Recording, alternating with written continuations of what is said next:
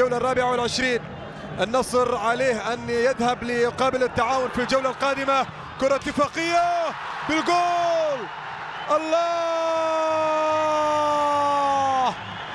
هدف ثالث للاتفاق. عبد المطلب الطريدي عبد المطلب الطريدي يسجل الثالث. يسجل الثالث. وبالتالي الآن الآن الاتفاق يتقدم بثلاثة والجماهير النصراوية تغادر ملعب المباراة. تغادر ملعب المباراة.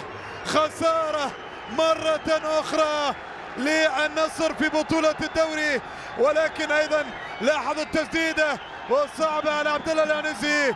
هدف هدف اتفاقي ثالث. هدف اتفاقي ثالث.